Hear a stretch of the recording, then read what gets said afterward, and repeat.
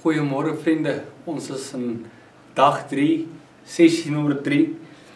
En ons werk deur die boek van Efesiërs. Ons het die eerste dag tyd spandeer om te sien hoe Paulus bid vir hulle en hoe Paulus hoe ons dit ook kan gebruik hoe Paulus dit bid vir ons om hierdie insig ehm um, en wysheid te kan kry en en ons vertrou God vir dit. Ons sien ons het gesien in dag 2 het ons gefokus op hoofstuk 1 vers 3 en, en verder aan hoe Paulus net kom eer gee aan God, hoe Paulus net kom dankbaar is en hoe God kom werk, hoe hy die al die al die seëninge en geestelike geestelike seëninge vir ons gegee het. Hoe hy ons gekies het. Hoe hy ons ingebring het in die familie as sy kinders hoe hy ons bly in ons werk. En ons sien hierso paar keer die woordkeuse wat Paulus kom gebruik het is omdat God so goed dink, omdat dit God so wou dit so wou gehad het. Um dis alles deel van God se werke. En ons sien hoe God in goed werk, ons sien ook hoe God goed meebring. Ons sien hoe God sê hy het alles laat uitwerk soos hy dit beplan en wou gehad het. Ons sien hierdie die feit dat ons verlossing het, die feit dat ons glo kom ook as gevolg van wat God gedoen het deur Jesus Christus. Ons sien um ons sien dat, dat Paulus net hierdie absolute groot um prentjie van God het en hoe hoe hy hoe hy hoe hy regtig God se grootheid sien en hoe God kom werk ons gaan teenoor nie deur die hele boek kom um van Efesiërs nie. Maar soos ek gesê het dit is nie die die bedoeling hiervan die bedoeling is net om en regtig ons harte oop te maak en ek hoop dit help ons 'n bietjie ons gaan vandag in hoofstuk 2 tyd spandeer. En dis dis 'n uh, dit is 'n uh, die die die brief begin met genade en vrede Uh, mag die genade en vrede van God ons Vader, Here Jesus Christus met julle wees. Hierdie boek is vol genade, hierdie boek is vol vreugde. Ons gaan so 'n bietjie fokus op genade en ek weet dit is 'n ongelooflike enorme um onderwerp en en ek gaan dit glad nie um hoe sê die Engelse man the justice doen nie. Maar ek gaan net op op 'n konsep van dit fokus. Paulus in hoofstuk 2 praat oor die ou mens en hoe ons gelyk het en hy kom terug oor hoe die nuwe mens lyk. Um en hy, en hoe God se se se en hy hoe God is is as 'n barmhartigheid teenoor ons en hoe God ons liefgehad het en in hoofstuk 2 vers 4 maar God se ontferming is oorvloedig. Die liefde waarmee ons liefhet wat so groot is dat tot ons verkeerde lewens ons geestelik doodgemaak het, hy ons saam met Jesus Christus lewendig gemaak het. Hy het ons weer lewendig gemaak. Ons eie ons eie eie goed het ons doodgemaak, geestelik doodgemaak, maar hy het ons weer lewendig gemaak. Dit is hoe God se genade wat hy ons verlos. Dis dis hoe dit werk omdat Jesus Christus ver, verbind is het God aan aan het God ons saam met hom opgewek en saam met hom op 'n sitplek in die saam met hom 'n sitplek in die hemel gegee sodat God ook in tye wat kom bewys dat hy heeltemal oorloop van genade.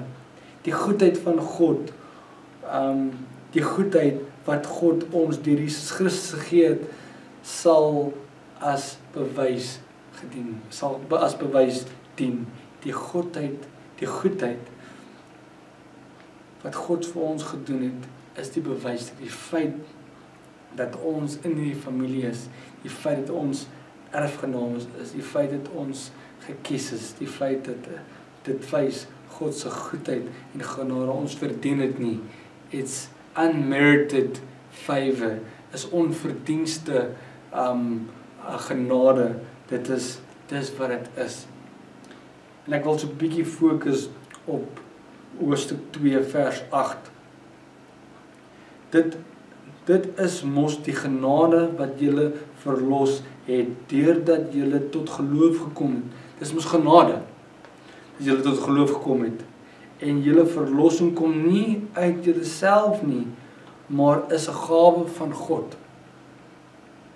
En dit is dalk 'n moeilike want jy verlossing kom nie van onsself nie, maar is 'n gawe van God. Maar God, ek doen hierdie goed. Ek het hierdie gedoen, ek het hierdie gedoen, ek het dit gekies. Ek het gekies. Hierdie is nie um van jouself. Dit is nie as gevolg van dade nie, nie as gevolg van iets wat jy doen nie. Niemand kan daaroor groot praat nie. Die rede hoekom verlossing um um 'n absolute genadegawe is, um is dat ons niemand daaroor kan groot praat nie. Dit is 'n gawe van God. Dit is gevolg dat julle um van julle dis nie gevolg van dade nie. Niemand kan daar groot praat nie.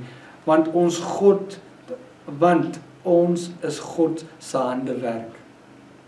Hy het ons in ons een ag eenheidsband met Jesus Christus so gemaak dat ons in goeie werke wat hy vir ons bestem het, bestem het kan uitlewe. Mense ek wil hierdie laat laat ons laat mooier verstaan.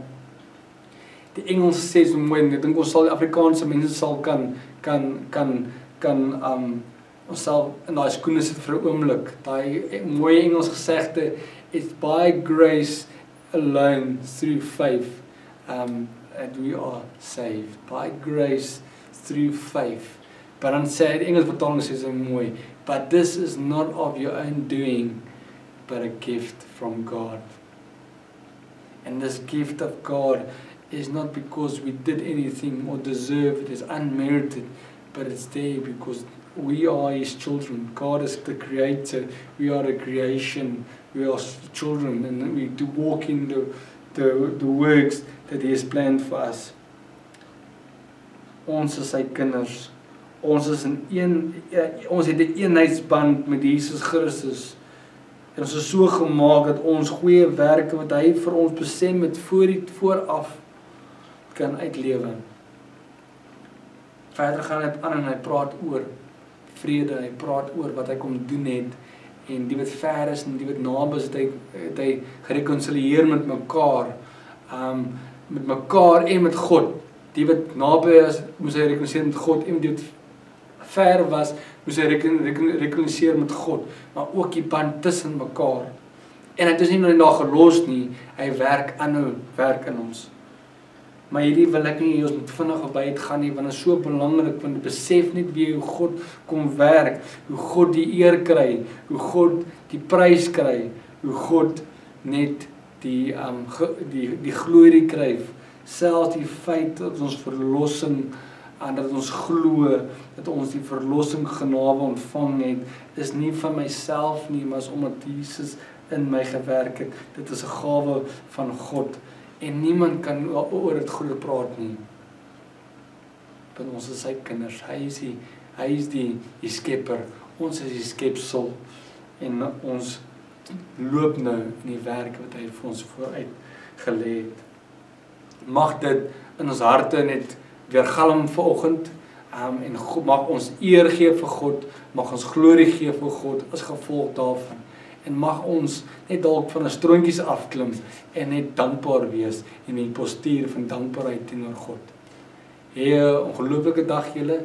Sien julle môre.